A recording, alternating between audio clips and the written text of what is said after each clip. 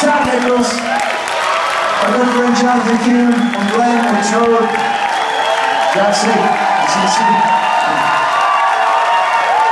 That's